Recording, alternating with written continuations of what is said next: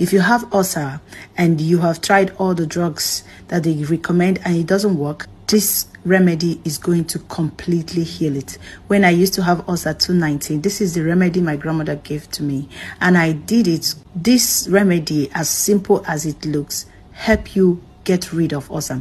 Now you need unripe plantain.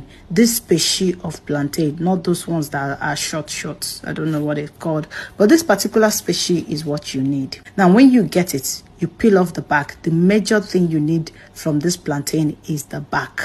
Now when you peel off the back, you cut them in smaller pieces. Add them in airtight container and add good water to it. Allow this thing to sit for 24 hours. And after 24 hours, every day when you wake up, take a glass of the water and drink it. The very first day you drink it, you feel this kind of coldness in that particular spot. You always have pain in your stomach. It works like magic and it will heal your ulcer.